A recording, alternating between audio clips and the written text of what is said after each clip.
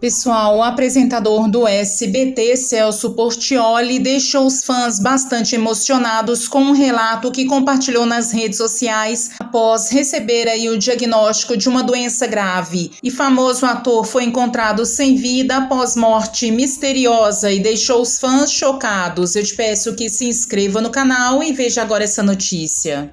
Então, pessoal, o apresentador do SBT, Celso Portioli, que venha enfrentando o tratamento contra um câncer na bexiga, foi às redes sociais e deixou os fãs bastante emocionados com uma reflexão sobre a importância de aproveitar a vida. Ele escreveu: é importante entender que o tempo é um recurso finito e precioso que não pode ser recuperado. É fácil se envolver em nossas rotinas diárias sem perceber a rapidez com que o tempo passa, mas é importante lembrar que o tempo é o nosso bem mais valioso e, uma vez que passa, nunca poderá ser recuperado. E continuou: cada momento que passamos com amigos, familiares e entes queridos é uma oportunidade preciosa para construir relacionamentos mais profundos e significativos. Às vezes, podemos ficar tão focados em nossas próprias vidas e objetivos que nos esquecemos de que somos todos seres sociais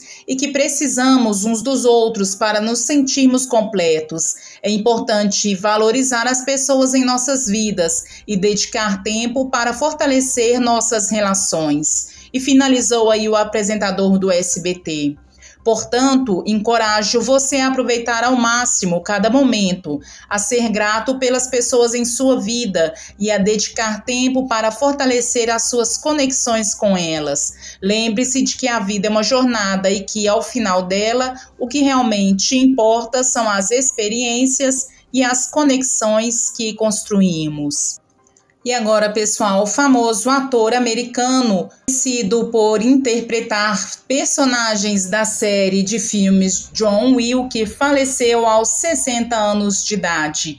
Ele foi encontrado sem vida de maneira misteriosa em sua casa na Califórnia. O ator americano Lance Reddick teve, infelizmente, a sua morte confirmada devido a causas naturais, segundo aí um representante do ator.